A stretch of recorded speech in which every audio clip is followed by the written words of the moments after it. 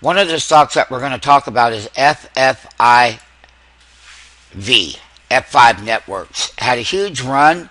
Uh, the high today was 119.96. Let that be known. Uh, you had 126 lows on the regular session. They released their quarterly report, and you can clearly see down here in this after hours market, we got down there close to exactly 112, right there. Right there. And now we pop back up to 115. This was the intraday high right here.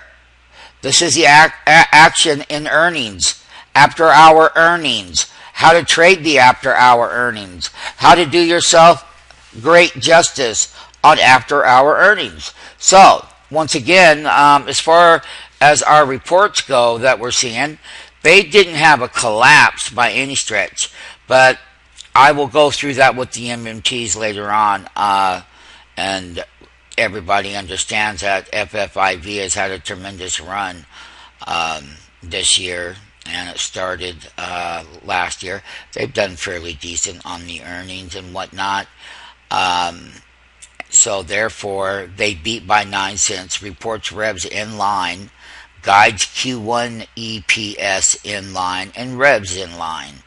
And the thing about it is that um, the September, we we are going to focus on that September, uh, what they said there.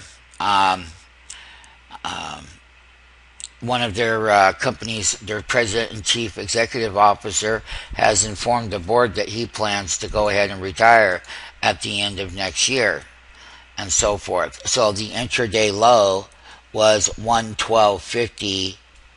This was the high.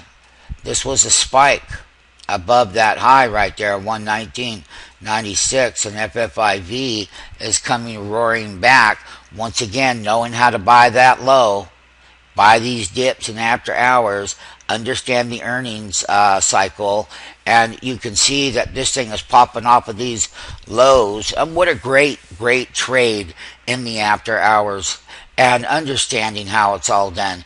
Get with us right now.